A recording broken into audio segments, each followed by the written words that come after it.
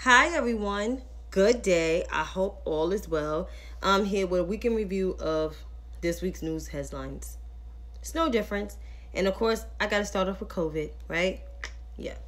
So, according to the John Hopkins website, coronavirus.jhu.edu, we have 165,874 and one cases of COVID 19. So that's 165,874,001 cases of COVID around the world. The global death toll is 3.4 million. So it's 3 million 4,338 no 338,383 cases of COVID. The US confirmed cases is 33 million 84,872. Unfortunately, Joseph, it is not. We're still in the midst of a pandemic and we're about to see a second wave. No, a fourth wave between the end of the summer into September. So don't be shocked. Everybody getting vaccinated, but doesn't mean we're still not out of the clear because the pandemic has not been declared over. The U.S. death toll is 589,222. So once again, the U.S. confirmed cases of 33 million 800. I mean 33 million 84,872 cases of COVID, and that's confirmed cases. So and then we have 589,222 deaths. In terms of vaccinations, there's over 200 million Americans vaccinated, but according to the percentage percentages, that's from different news sources such as NBC News, it's only 35% of the country that's fully vaccinated. 47% received the first dose, but only 35% of the country is vaccinated. And as much as places are opening up and starting to loosen restrictions, we're still in the midst of a pandemic. There are certain businesses in the city and all businesses throughout the United States of America require you to wear your mask. So we're not out of the clear yet. I still wear my double mask. I just received my first dose nearly a month ago and I will receive my second dose next Thursday. However, when I'm fully I'm full I'll be fully vaxxed before the summer hits, I am still wearing my mask because only 35% of the country is fully vaccinated. We're not at a place of herd immunity. We have to be 70% of the country has to be vaccinated in order to re reach a place of herd immunity. Herd immunity. And there's still a lot of skepticism about the vaccine. So, no, the pandemic is not over. If that's the answer you guys are looking for. And no, I believe you should still be wearing your mask. And also, no, businesses require you to wear your mask.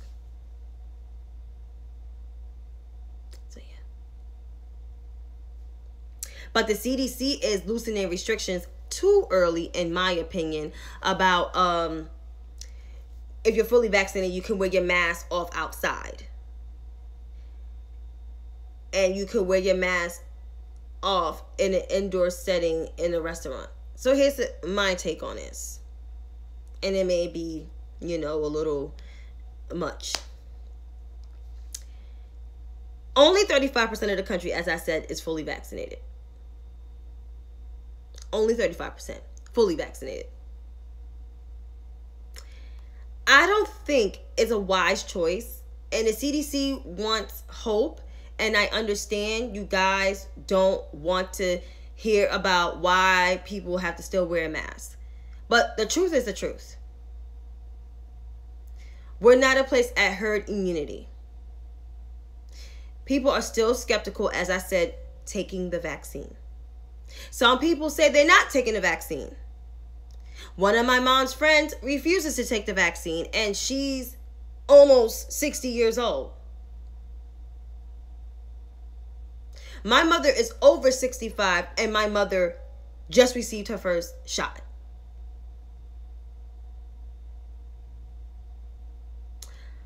I mean, we're not at a place where we can take off our mask. We're not. You can probably eat dinner with a little bit of more people, but it still should be socially distant, hand washing, and all that jazz. I, me, I am not gathering with a whole bunch of people. My gathering is 10 and less.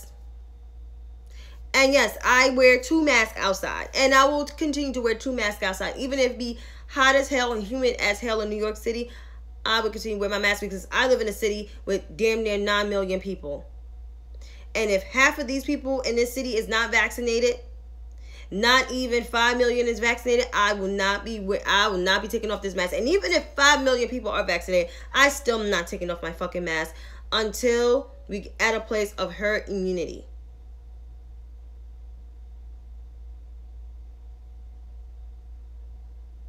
And I'm with you, Kyle. I don't trust people. Hey, chocolate girl, I don't trust people. And hi to everyone that came on this live. I don't trust a damn soul. And I live around Trumpers on the Upper West Side. And some of them want to walk around without their mask on and then breathe on people and talk to you. No, get the hell away from me. Yes, you got vaccinated, but I, I, I'm vaccinated and I still wear my mask. Because I care about the people that I love, that I go visit from time to time when I have the ability to visit them. Yep, let us wear a mask and leave us the cologne. I got nice stylish masks from Old Navy. Old Navy had masks on sale today for a dollar. Well, I bought a couple to give Christmas gifts because I have a shit tons of masks. I got nice stylish masks. Y'all see my pictures with my floral mask. I, I'm wearing an army fatigue suit tomorrow, so I'll probably wear like some type of brownish mask to go with it with some sandals. And then Sunday got a floral dress, and I'll be wearing something a floral dress. I'm not fucking around with this virus. This virus killed too many people that I knew. It killed old neighbors. It killed some pastors I knew. It even killed some family members of mine. And a former colleague of mine who had COVID, it now has asthma on top of her diabetes. So, yeah, no. I'm keeping my mask on. But in terms of, and I'm almost finished with this COVID thing Hi, Kay. Meghan McCain. Yes, I watched The View, and I watched The View because I like to hear different sides and different views of point of views. That's like sometimes I'll watch Fox News every now and then one stupid shit they got to say. But um she keeps blaming Dr. Fauci for the reason why COVID is a bungle mess and the messaging behind COVID and the vaccine is bad. Let me school Meghan McCain a little something on my point of view. Meghan, the president of your party, the former guy of your party, knew about the severity of this pandemic. He knew. There's recorded conversations with him and Bob Woodward. He knew. And what did he do? absolutely nothing right away. It took for several of states to do lock, lockdowns California, Washington State, Oregon, New York, New Jersey, Connecticut, and so forth and so on to lock down their states.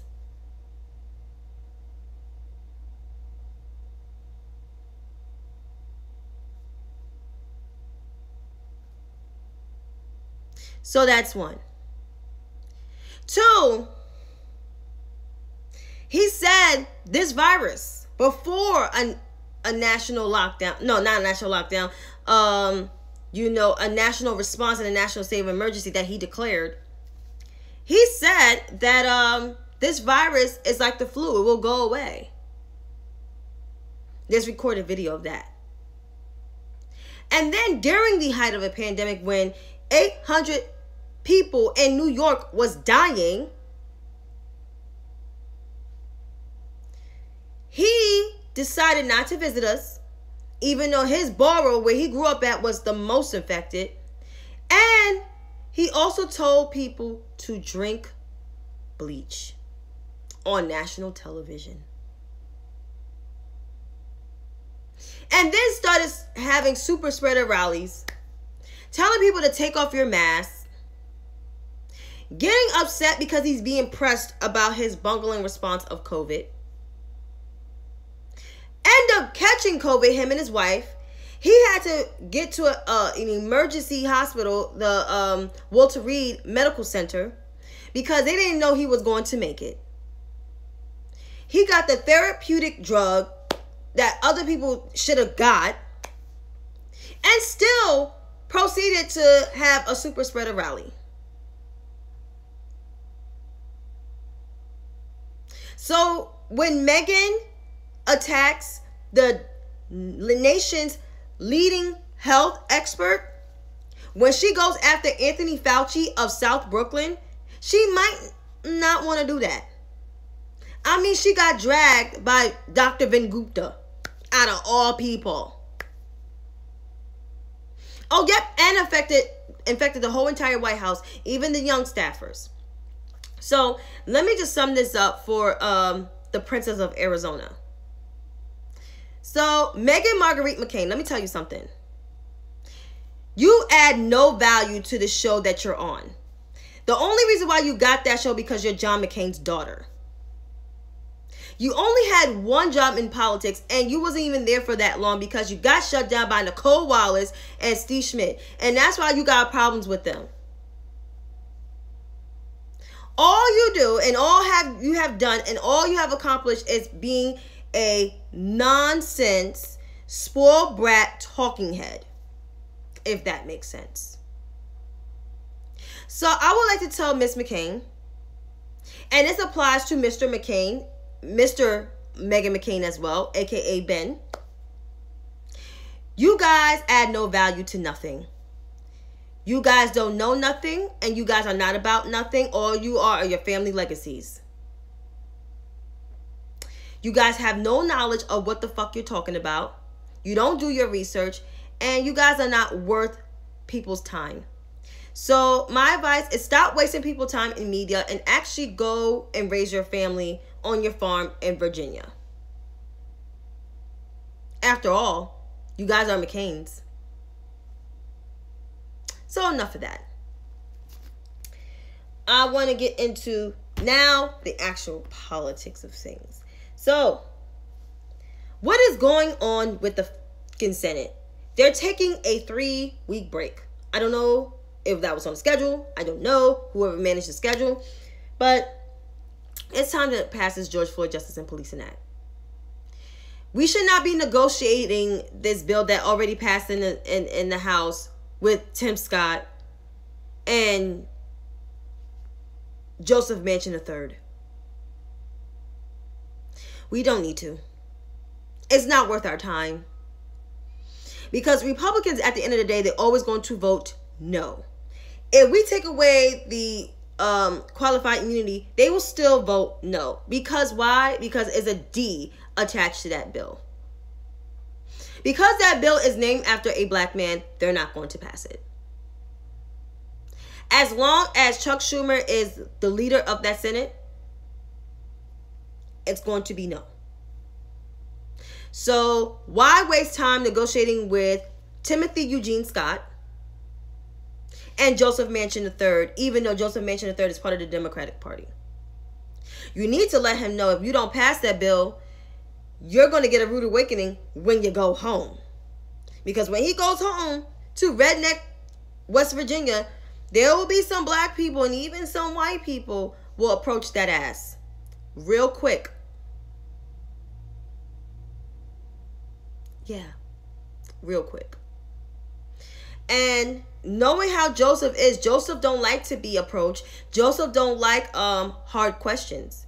But if you don't go along with your party vote, it will be a problem. So I would advise Joseph to actually um follow suit. And that's what Democrats negotiating with Timothy Eugene Scott. Don't waste your fucking time. Don't waste your time. And yes, we all want to kill the filibuster, but there's no votes of killing the filibuster. So that's even kind of away in a dead issue. The president can override that, but that's impossible. Wagwan Queen Lion. But that's impossible. So the Senate needs to act like they're in power and needs to do what they need to do. In terms of listening to political analysts, don't even bother because they're stupid too on TV. But I'm just saying is um it's time to put Joseph Manchin in place. Even though Sinema, she gets on my nerves too. But when it comes to civil rights, she, at least her head is is it's in the game. It's Joseph. It's Joseph Manchin, and he needs to get his shit together. But in terms of more legislation, the security bill passed through the um, House of Representatives. Oh, that's last with Miss Gabbard.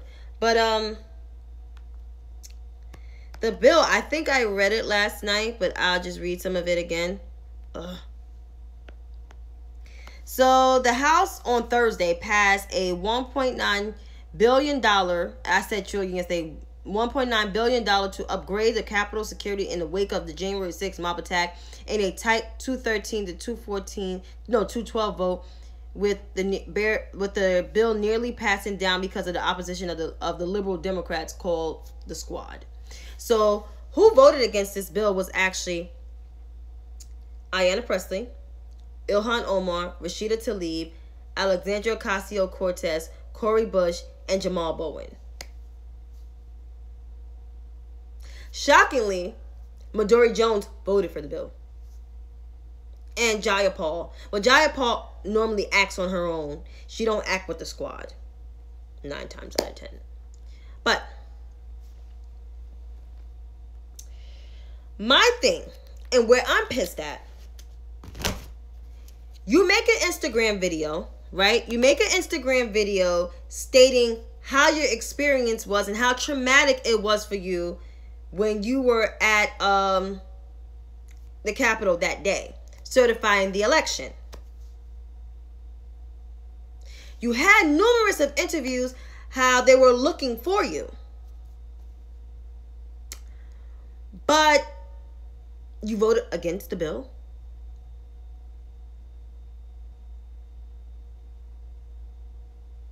How the fuck does that make sense?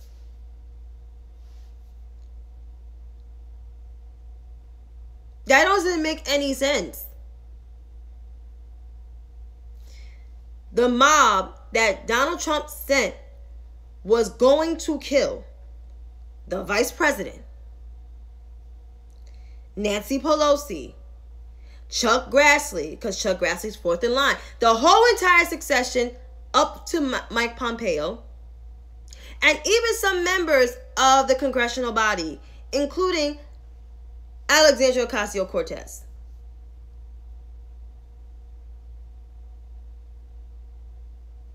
And I'm pretty sure other members of the squad too. Ilhan, Rashida, and even somewhat Ayanna, right? And yes, Republicans voted against it too. I expect them to vote against it because they will do anything. But the six progressive Democrats I'm focusing on, and the reason why I'm getting on them is because y'all lives was in danger, especially Congresswoman Alexandria Ocasio-Cortez. They were going to kill you. And Nancy Pelosi. And you say it was too much money?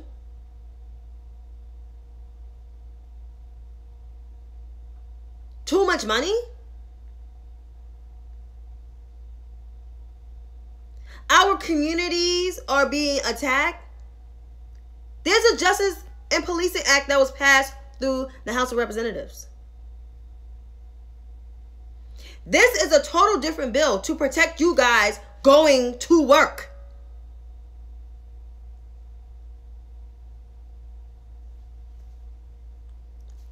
I don't get it. But let me just say this. And I'm going to nip this in the butt. This is why these progressives need to be primaried next year. They don't serve no purpose in Congress. They haven't passed any laws in the in the House. Their bills that they're proposing is a pie in the sky. None of the shit that they're talking about is not going to be enacted. You have to get other people in Congress on your side of the aisle in the fold. And they have not successfully done that.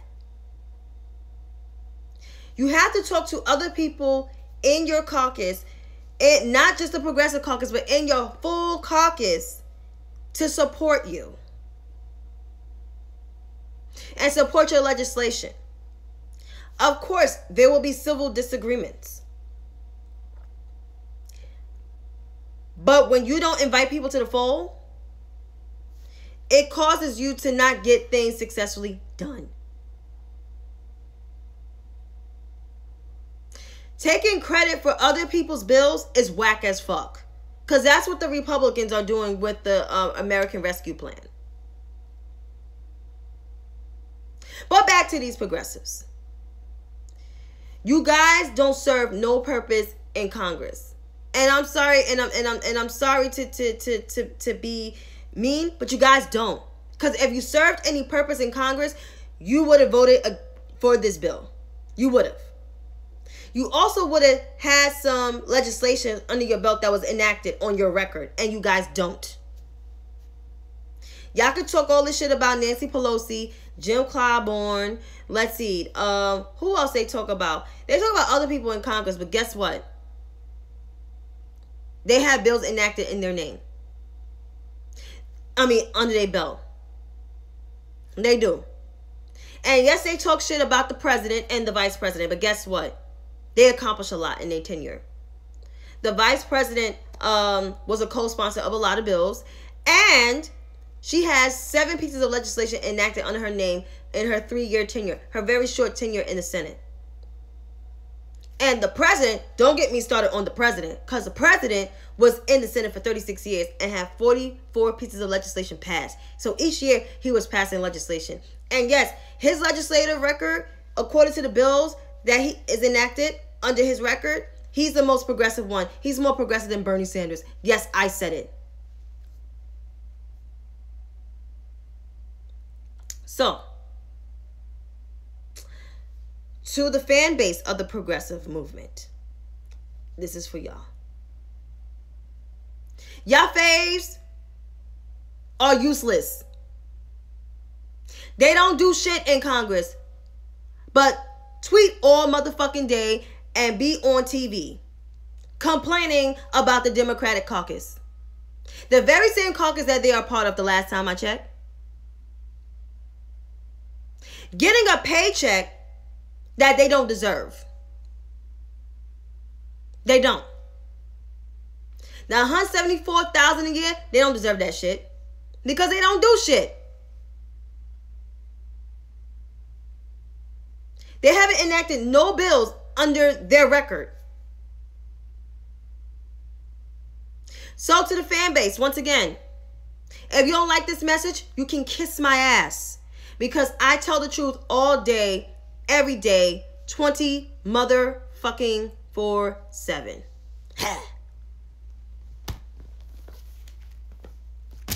now, with the whole thing with Israel, I don't know too much about, you know, the situation right now, what's going on in Israel, but what I do know from the past, um, it's always been problems in the Middle East it got worse during the 19 was it 1945? I think after the Holocaust. And it seems like everybody tried to get their hand in the problems in the Middle East, but it somehow it doesn't seem it's never really successful. I mean, President Obama tried his best with Israel. And of course, he got flack from it from news commentators to different, you know, Republican diplomats and, and, and, and whatnot and um, he tried to find peace. But when Donald Trump came to office, he was giving him praise the way he handled Israel. My thing about that is um, he actually made problems worse because the embassy was moved to Jerusalem. He's also friends with a crook, uh, which is, I guess, the prime minister of Israel, um, Bibi um, Natan. Natsumu. Oh my god, I keep messing up his name. And pretty much is shit just got worse. And Bibi is actually a whole crooked criminal. He was indicted on charges. What happened to that? I always mess up his name. I always mess up his name, Kyle. But the whole thing of, of this is people are blaming the president for the problems in the Middle East, which even though is now under his watch, but those problems been existed before he got there. Bibi is a conservative. Yes, he is conservative. And um he wants to start more wars. He's just a prejudiced motherfucker. So when Meghan gets on TV, because yes, I'm reverting back to her because she talks the most shit about the president's diplomacy, which the president's diplomacy is he's actually more of a diplomat than Donald Trump and even someone like President Obama almost. So it's just like she needs to shut the fuck up. And also Stop saying you sympathize with with the Israelites and with the people in Israel and the Jewish people in Israel because you don't.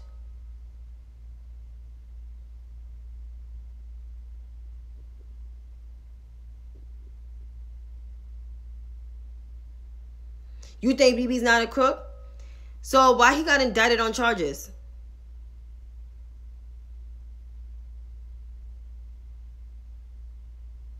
I mean, there was always problems in the Middle East. And and and, and that's another thing. The United States involving themselves in that from way before and causing problems with that is just like because I think the United States caused kind of like more problems with that. But like I said, I don't really know too much about all those issues in Israel and everything. But what I do know is Bibi is is terrible. And the people of Israel really don't like him. So, or the Palestinians, they don't like him.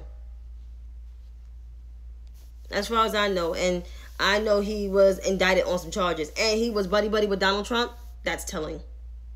Yeah. But, anyhow, I'm going to get. I think there's some trolls here trying to block the facts. What are you talking about?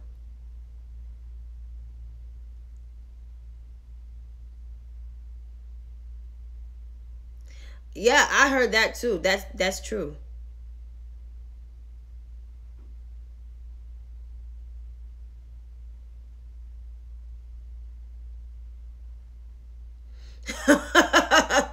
okay, guys, no fighting, guys. No fighting, please. I don't want any fighting. That is the least thing. But I am about to move on. Because I am just about done. This is what happens when you write all your stuff down. When you write all your topics down. Look at this. I feel like I got sloppy handwriting, but yeah. So, okay. It's time to read Miss Gabbard.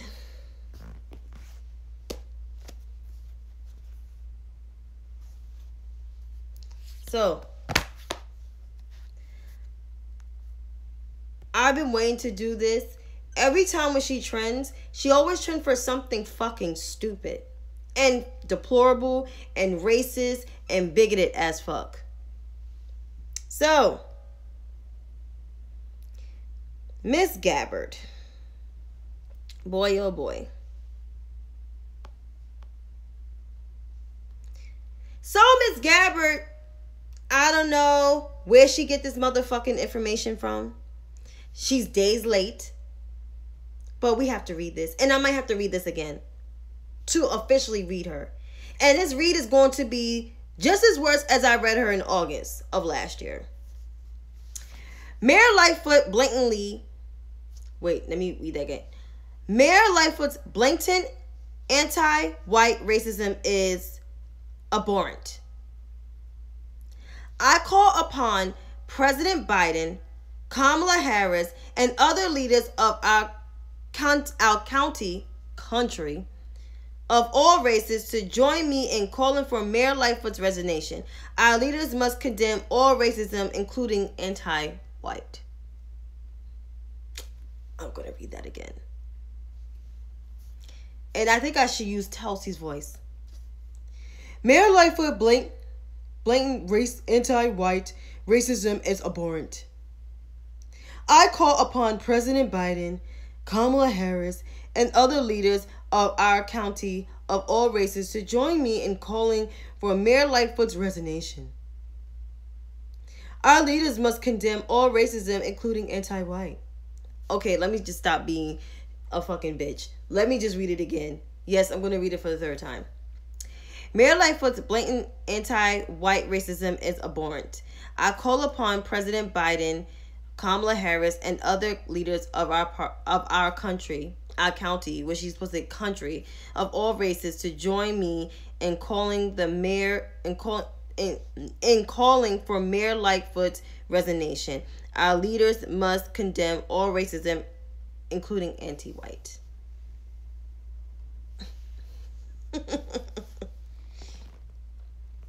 I said this to her, but I got to do the full read. Dear Russian bot Tulsi Gabbard, I said it's President, Vice President Kamala Harris. If you can't say that, it's Vice President Harris or Madam Vice President, not Kamala. She ain't your homegirl. And guess what, Miss Gabbard? If you're listening out there, Tulsi Gabbard, this message is for you. So, Miss Gabbard, number one, it's Vice President Kamala Harris. Vice President Kamala Devi Harris. Vice President Harris. If you can't say those two things, it's Madam Vice President or MVP. Not Kamala Harris.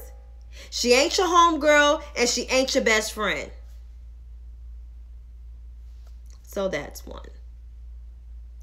Two, Miss Gabbard. Mayor Lightfoot is not a racist. She prefers to interview with people that look like her and of her skin origin. She does give equal opportunity to white reporters. This whole thing of anti white it's another thing of you, Miss Gabbard, of touting your racism and your bigotry. After all, you are a whole entire motherfucking bigot and a whole Russian bot. You are. You was exposed by Hillary Clinton, and she didn't even say your name, but everybody knew it was you, and you even knew it was you. You try to kneecap then Senator Kamala Harris then you got red about two months later. And when she dropped out of the race, your ass was not back on the debate stage. Because why? Because you were unserious candidate and you were just there to disrupt and cause dissension. And now that you're unemployed, yes, you're unemployed, all you're doing is tweeting bullshit like that. Message that white men tweeted. After all, white men did support your campaign. So, Miss Gabbard, instead of being a Twitter finger ass Russian bot and a propagandist, try getting a job at Fox News. After all, that's the only news station you appear on. Because nobody in other networks such as CNN MSNBC will take you seriously. Because why? Because you're an unserious ass woman. And yes, I said it. So until then, I will say bye, Felicia, but deuces, ho. Deuces. But I'm going to extend this read even further because I enjoy reading Miss Gabbard all day, every day, because I think she's an unserious ass fucking fool. She will never get a podcast, in my opinion. I think her podcast will be full of shit. I think she's full of shit. I think she is. And for Bernie Bros, yes, and it's the Bernie Bros that um cheered her on where she tried to kneecap then Senator Kamala Harris now feel stupid that she partnered with a Republican congressman to uh, what is it? To propose a bill that is anti-trans. But y'all was praising her during the primaries. She also bamboozled y'all when she took an interview with David Rubin. Tulsi Gabbard is a cosplay Democrat. She's really a Republican at heart. I can't even say moderate Republican. More of a conservative, far right Republican, an extremist, a propagandist, all of that shit. She never reached more than what, 5% in a in a poll? Never.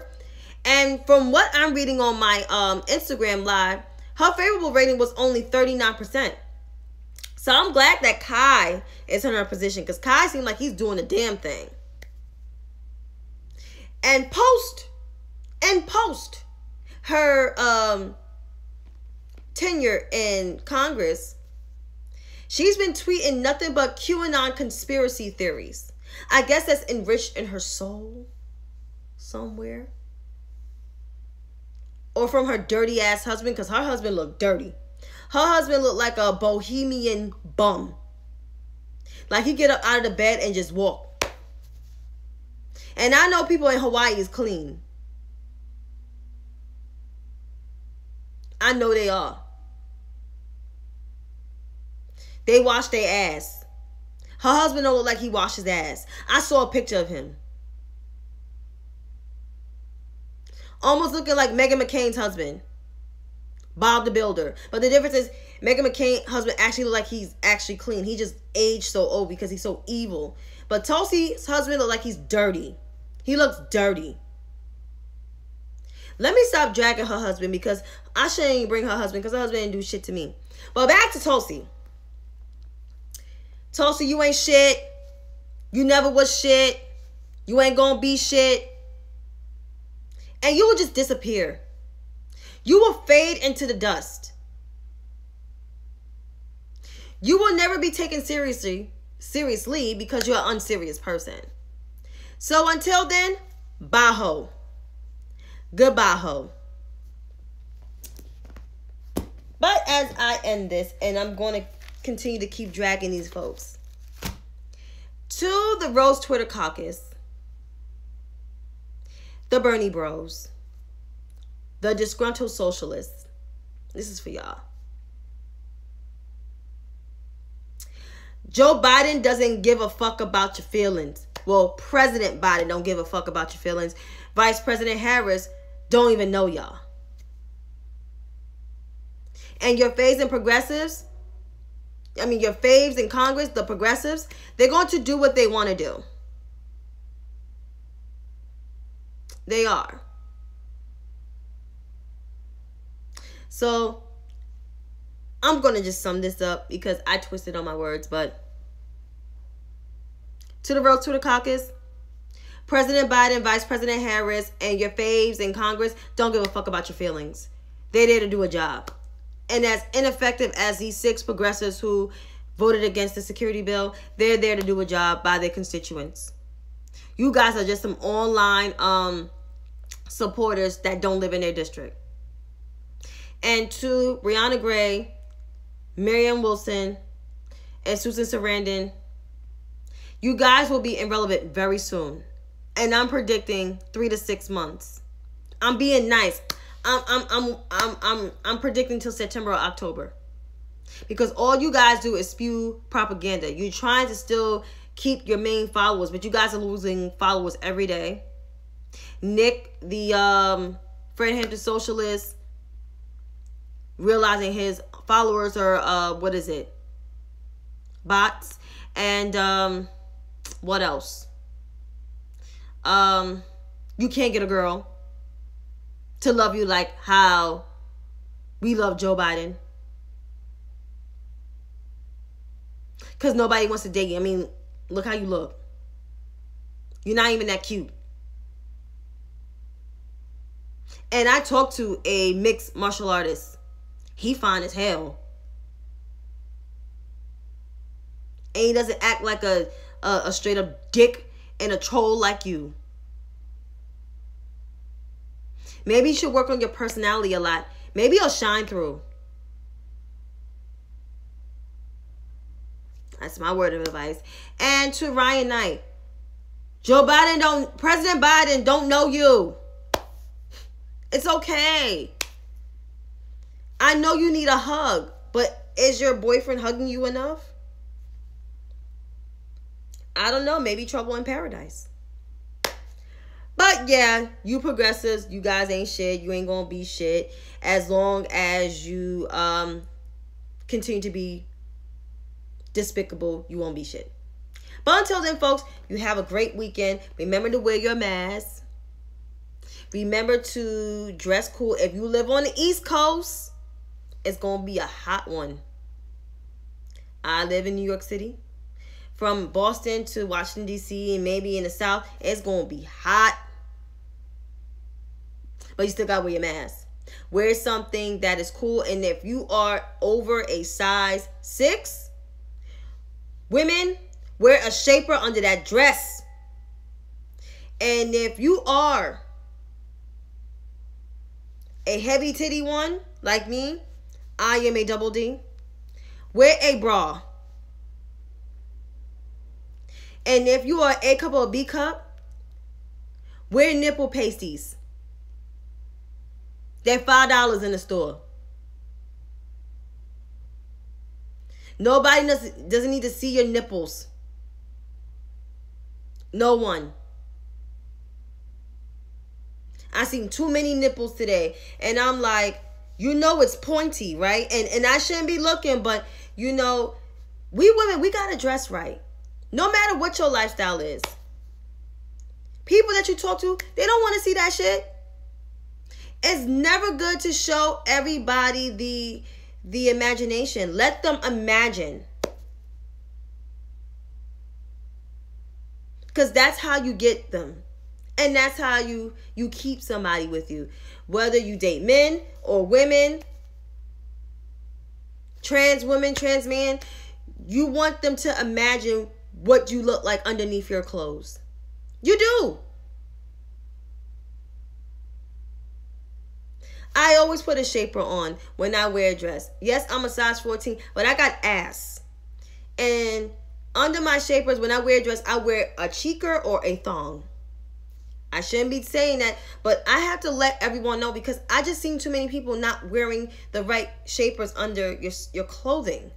It's important to you know make sure your clothing is presentable, whether you're wearing a halter top or not. Even when you wear a halter top, you need to wear nipple pasties if you are a A cup or a B cup. When you are a C cup, you need to wear a half bra. C cup and up. They got half bras. TJ Maxx had half bras for like what is it? Seven ninety nine. I bought me another one.